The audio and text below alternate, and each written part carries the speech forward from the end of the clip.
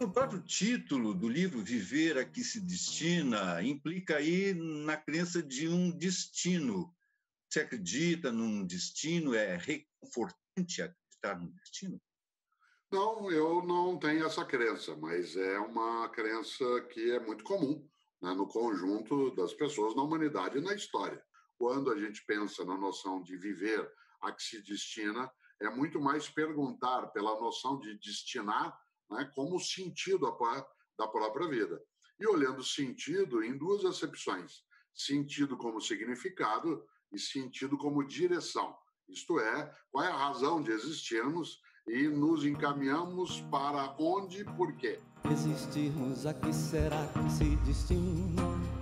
A música cajuína, ela foi a inspiração original do ponto de partida porque sempre fica na nossa cabeça, para quem é da área de filosofia, de história, né, existimos a que será que se destina, né, especialmente quando a gente tem momentos variados de turbulências, dificuldades, como estamos vivendo e que, claro, vivemos o tempo todo. Né? Nessa direção, o título chega a viver a que se destina, inclusive a partir daquela inspiração, mas buscando ir um pouco adiante do que a belíssima canção traduz. O título é uma pergunta.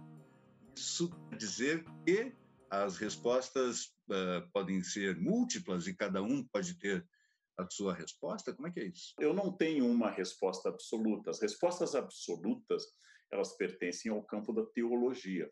Elas pertencem ao campo da verdade revelada e porque as coisas são assim, porque Deus a revelou assim. Isso não é ruim, mas é um campo distinto do que busca a ciência histórica, do que busca, por exemplo, a filosofia. Então, eu preciso de evidências para chegar a uma resposta. E aí, usando a definição de Einstein de ciência, o estado atual dos nossos erros, a história e a filosofia não são o ponto mais alto da reflexão humana, são o ponto atual das nossas concepções, através de métodos verificáveis, e como tal, a resposta que eu dou hoje sobre o sentido da existência não será a resposta dos meus netos e não foi a resposta dos meus ancestrais. Cortella, você é, começa a discussão do livro falando sobre quando o pai ou a mãe chama a atenção do filho e o filho incomodado disse: Mas eu não pedi para nascer.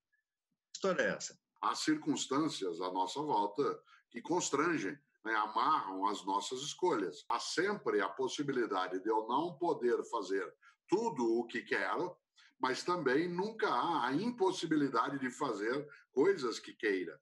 Nós somos capazes de alguma coisa, não somos de tudo. Nós somos autores da nossa trajetória, da nossa escolha, mas nós não temos a liberdade absoluta de fazê-lo, primeiro, né, porque não somos sozinhos. Segundo, porque a natureza tem caminhos que nós não escolhemos.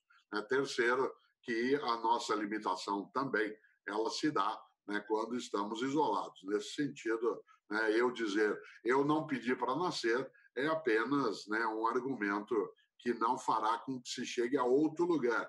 Serve só como explicação, mas não chega a ser uma justificativa. Carnal, é. você cita os existencialistas, né? o existencialismo onde se diz que os homens estariam condenados à liberdade, portanto, seriam responsáveis pelo sentido dado à própria existência.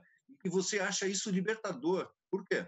Com frequência, as pessoas atribuem a destino, maktub, estava escrito, é sina, eu sou signo de ar, eu sou signo de fogo, eu nasci no ano do cavalo, para tirar delas a responsabilidade diante da ação. Responsabilidade que envolve ética. Existe responsabilidade ética e moral nessa liberdade. Se vocês tivessem conversado, não lá em fevereiro de 2019, vocês tivessem feito essa conversa agora, em plena pandemia, você acha que haveria outras reflexões aconteceriam?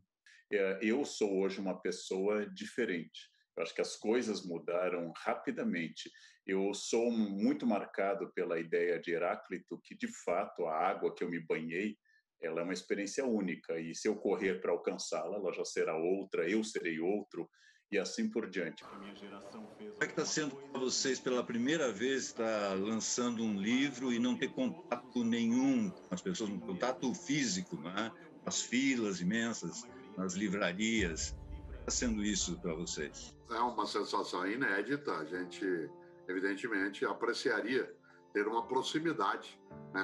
Eu estou há bastante tempo já retirado no distanciamento, por função, inclusive, né, de ser grupo de risco, mas acima de tudo porque é necessário para minha proteção e de outras pessoas que comigo convivam né, na minha existência. Mas eu não tenho a perspectiva de que a gente vá, por exemplo, numa situação pós-pandêmica, retomar do mesmo modo. Inclusive porque por um bom tempo ficaremos ainda tateando em relação a modos de contato, de convivência mais próxima. Eu pudesse ficar bebendo vinho, tocando piano e lendo, eu passaria o resto da minha existência relativamente feliz. Muito obrigado. Obrigado, obrigado.